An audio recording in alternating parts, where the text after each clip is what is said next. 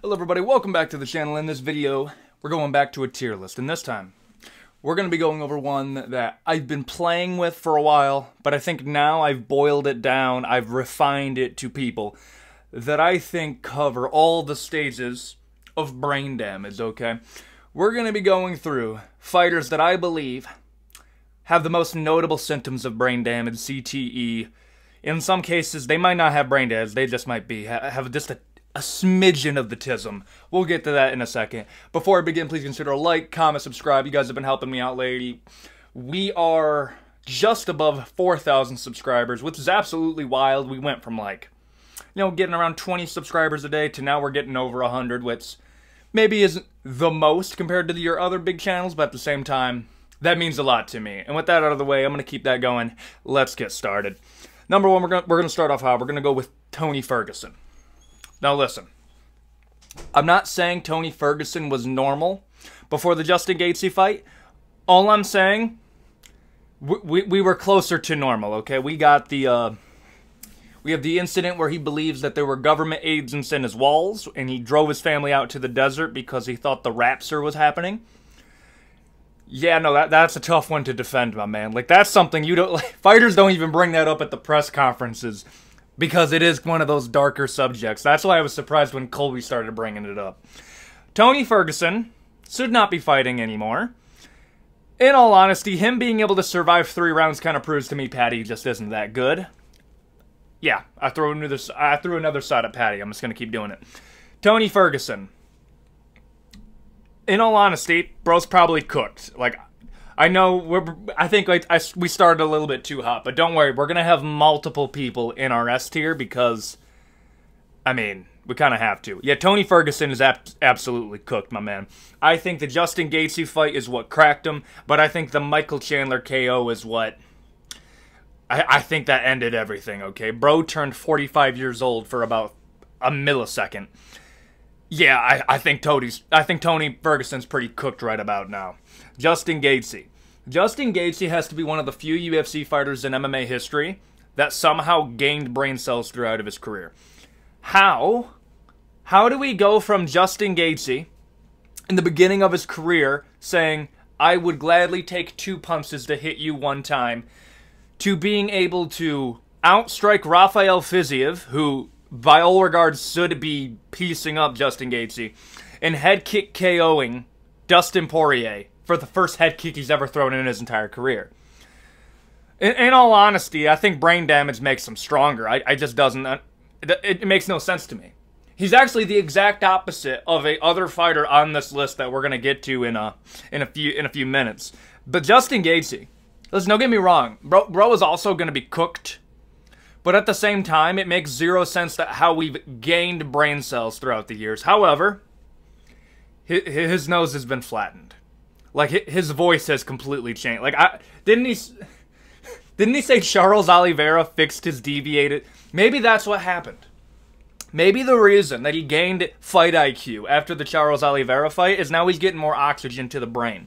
Charles Oliveira might have unironically made Justin Gaethje a better fighter by fixing his nose for him. You know what? We've moved from cooked, I'm going to say a low A tier. Like, I'm sorry, you, you can't tell me that you know what? B tier. B plus. Nate Diaz. Bro, I mean, we got all the heavy hitters. Admittedly, this is kind of a tough tier list to do. But at the same time, Nate, Nate Diaz, I don't think people are going to disagree with me. It's Nate. It's definitely a little bit of CTE, a whole lot of brain damage, a sprinkle of the tism, and some childhood trauma. If you guys remember my cursed basis for MMA, that is how you would make a Nate Diaz. The CTE is strong with him, okay? Uh, like, just look up Nate Diaz at the start of his career and look at him now. Like, just the way that he speaks has completely changed. It's like a reverse Raul Rosas Jr. I'm going to say Nate Diaz is probably an A tier. Actually, I don't even know. Somehow he has a chin. Like, it makes no sense. He got knocked out earlier in his career by Thomson, and then somehow got a better chin later in his career. Like it doesn't make sense, but at the same time, like if you look up UFC fighter brain damage, Nate Nate Diaz is one of the first 10 people that you see in the image section, okay? Like, just for that reason alone, you got to put him in A tier. Sean Strickland. Listen, we've all heard Sean Strickland talk. We know there's brain damage in there. It's just a matter of what was he always like that or was it induced? I would argue there was always that little bit of Strickland in him, but I think the motorcycle accident changed everything. Part of the reason that Sean Strickland fights the way that he does in that upright posture is because his, I believe it was, he's missing a part of his muscle in his leg that stops him from being able to change levels. Like, the motorcycle accident, I think, gave us our modern incarnation of Strickland. I, I think that caused the head trauma. Like, he spars more than any other UFC fighter, but gets hit less than all of them. We've all heard that stat. I think the motorcycle accident changed the man. I'm actually going to say he's the most outlandish in the way that he speaks, but the problem is it's it, it's weird shit that he says. It's base, don't get me wrong, but it's coherent. I'm actually going to say C+. plus. I'm going to say C+, plus just because of how coherent he is when he speaks. Like listen, for every five crazy things that he says, he says one thing that's like, that's actually a good point. So for that reason, I'm going to put him in C tier, not in our D tier. Most definitely there's some brain damage there, but not too much. Tito Ortiz. Cooked. Bro, his melon is fried, okay? Tito, it, it, it Tito talking.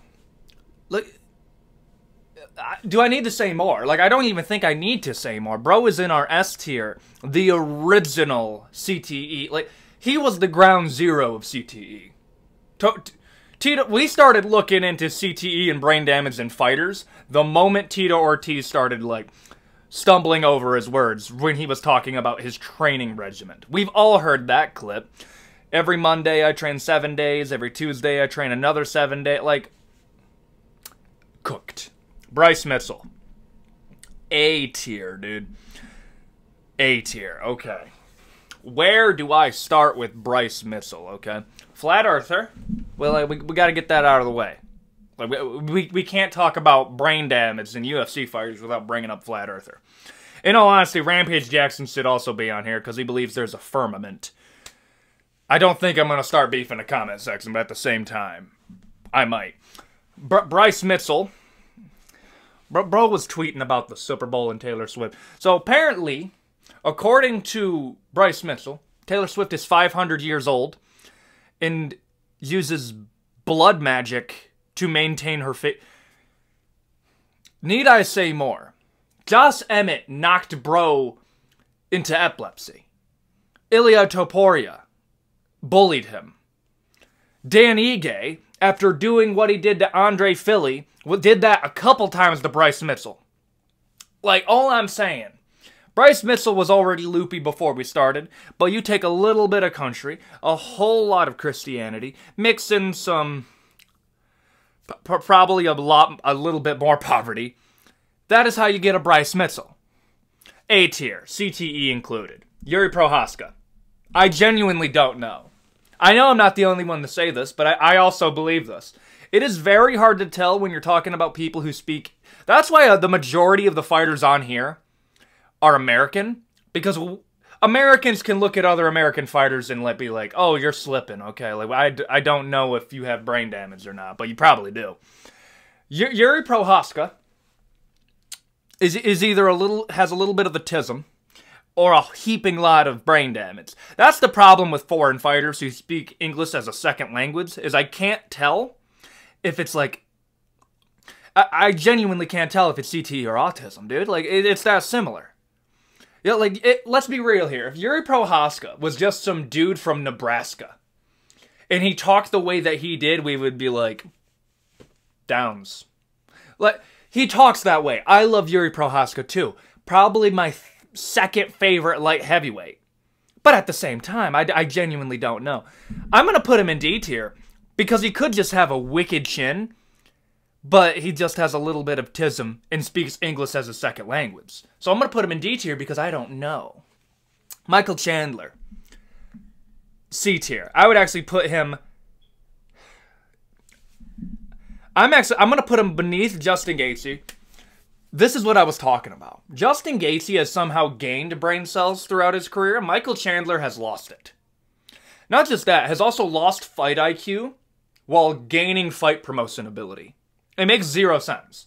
Michael Chandler somehow has gained the ability to be amazing on the microphone, but there's a little thing that I like to call the Chandler syndrome, named after him. And what the Chandler syndrome is, is if you're going into a fight with somebody that you stylistically have a huge advantage over, that being Michael Chandler having good wrestling, I'm just not gonna use it. Instead, I'm going to fight stylistically as risky as I possibly can for the sake of pay per view points. I respect it as a fan. At the same time, I don't respect it as a guy who's betting on Michael Chandler. Like, here's the thing. Part of the reason Bro is still ranked in the top five at lightweight, despite not doing anything for the past year, is because, yes, I know Conor McGregor's probably lost. He's over 35 years old right now. He's already done a lot in his career. Michael Chandler is probably going to go guns a blazing in the first round, going straight into a counter left. Stylistically, he should win very, very easily.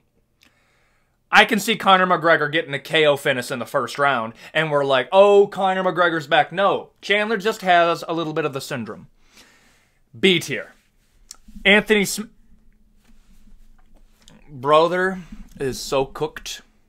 Yes, no. He, he Stop fighting. Khalil Rountree, so that, that should have been the end. Johnny Walker should have been the end, actually. Another dude on this list. Those two should have sealed the deal. I have maintained this the entire time I've been in content creation. As an MMA fighter, if you are at the point where you feel like yourself are never going to win a belt, if the belt is no longer a possibility, stop fighting. It's just not worth it anymore, especially if you're Anthony Smith and somehow has a desk job. You have a podcast that you do with Michael Bisping. The UFC has employed you as a fight analyst, despite the clear signs of brain damage. Like, bro said Jim Miller would beat Brock Lesnar. Need I say more, okay? He also said Jon Jones isn't good. I'm, gonna try to get the quote right. Anthony Smith says it's not that Jon Jones is good, he's just decent at everything. Brother, you are aware when we bring up the most dominant title performances in the history of the sport, people will bring up Anthony Smith versus Jon Jones. Now, I'll respect you for keep going because Anthony Smith could have pulled an Aljamain Sterling and got a DQ win against Jon Jones because that was a blatant illegal knee. But at the same time, I don't think that was real as much of him being a dog as it was a little bit of the CTE sewing, ha- being already dominated for the first every single round of that fight, only to continue that beating. Like, need I say more? Bro is cooked. Michael Bisping. A tier. A tier. Okay? How is it that Chael Sonnen has, is still one of the most coherent UFC fighters ever? Like I, I think at this point the UFC like champions him whenever anybody wants to bring up brain damage. They'll show them Chael Sonnen and be like, "Oh, there's no brain damage in the UFC. Look at Chael, he can speak perfectly." Meanwhile, bro was on a 14 minute conversation about somebody that he might have saw in a hallway. Okay, let. Michael Bisping is like he, he definitely brain damage. Bro lost an eye. Bro's a dog. Like I, I say all this. Every single one of them's a dog. Michael Bisping lost an eye versus Vitor Belfort. Also has come in with some outlandish takes. But respect to the man. Bro's, bro's egg is also scrambled. A tier. Islam Makhachev. I genuinely don't know. I'm going to put him at the same level as a Yuri Prochazka. Because let's say this. Is let's say Islam Makhachev was just some random hillbilly from Appalachia. He comes from the mountains, but this time it's from Appalachia. we would think bro had brain damage and, and probably has a little bit of the inbreeding and the tism. That's what we would say. But since he speaks English as a second language and is from Dagestan, we're like, oh no, he's perfectly fine. I genuinely don't know. Like, I don't think Islam's been hit enough to have a significant amount of brain damage, like our cooked. But if he was from America, bro is easily in our A tier. Like, you see what I'm saying? Like, the, the English as your second language kind of saves you from the brain damage allegations. But not this other guy, Johnny Walker. Johnny Walker. Johnny Walker is definitely probably going to be in our A tier. A few more socks, bro, is going to be cooked. He, like he ha- doesn't have a chin. Like it, let let's just admit that Johnny Walker doesn't have a chin. He probably he, he lost it in his amateur career or early pro career. I mean, he's another one. It's e- it's either autism, CTE, English as your second language, but in this case, I believe it's all three. It goes in our A tier. Bro's crazy. Stipe Miocic.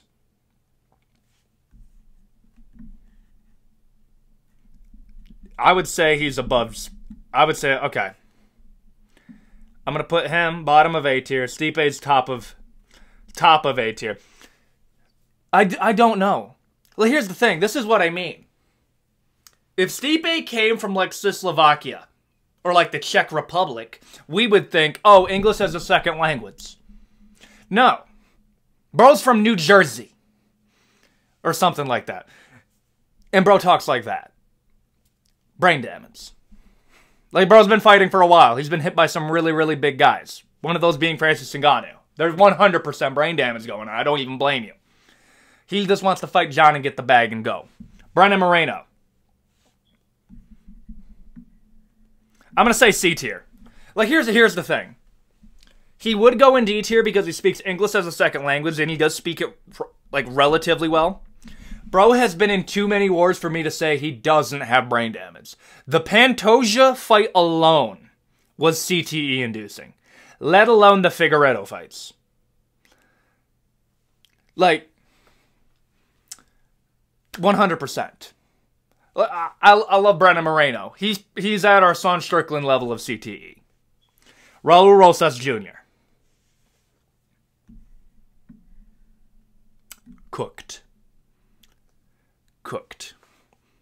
If you've taken so much damage that you look like that one orange dude from the Muppets, you're cooked, brother. Okay? If I. I'm trying not to be too mean. Raul Rosas Jr. 100% came into the UFC with brain damage. Like, here, here's the thing. I remember when they first were like touting him as like this is going to be the next generation of UFC fighters and they show us Raul Rosas Jr. at 17 years old. All I'm thinking to myself, listen, taking brain damage by the time that you're six years old is not good for you. Like, I think growing up until you're about 16 and not taking any brain damage, I think that's better than getting brain damage the moment you're out the womb. Like Raul Rosas Jr. looks like he came out the womb and immediately got cauliflower ear. It looks like they pulled him out by it.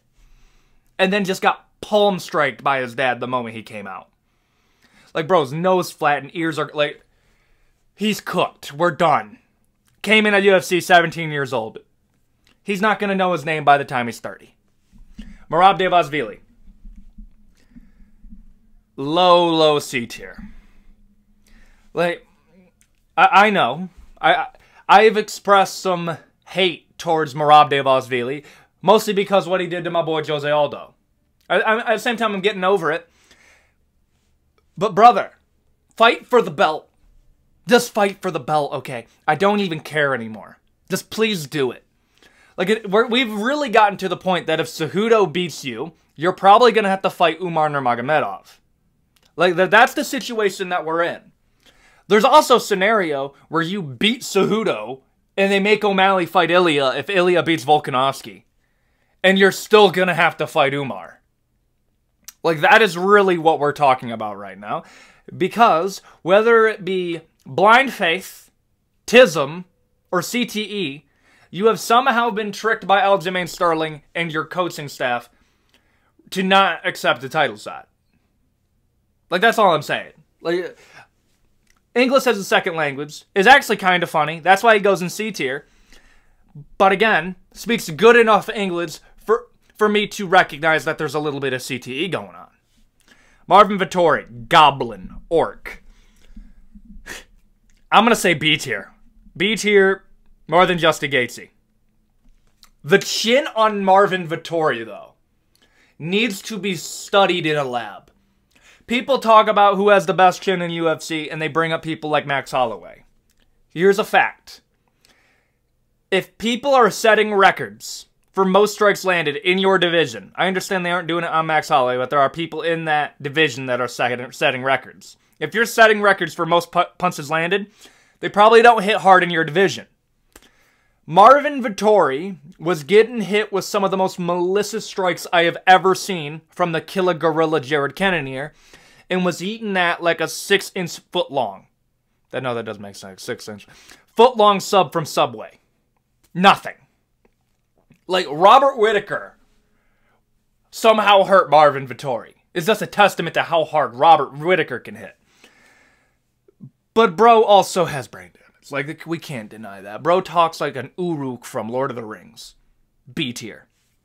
Conor McGregor. It's either a coke addiction, CTE, toxoplasmosis, ADHD, poverty. It's all of them.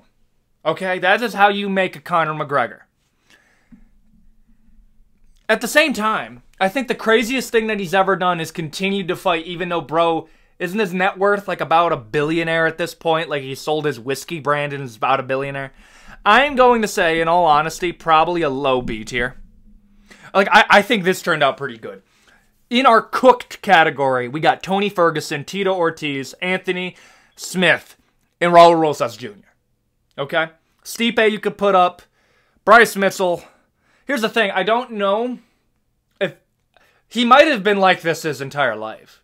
But the moment you start talking about Taylor Swift being 500 years old, vampiric, and uses white blood cells to maintain her figure, and you, you've lost me completely. I can forgive the flat Earth. Rampage Jackson's a flat earther. I love him. Brain damage. I think this turned out all all good. Tell me what you think in the comment section below. I'm gonna try to get a, um, one more video out today to make up for yesterday. This was supposed to come out yesterday. Tell me what you think in the comment section below. If you have a video that you want me to do, leave it down there. I'll check it out. And again, thank you guys for liking, subscribing, and sharing my videos. It means the absolute most to me. And with that being said, see you next time. Thank you for watching.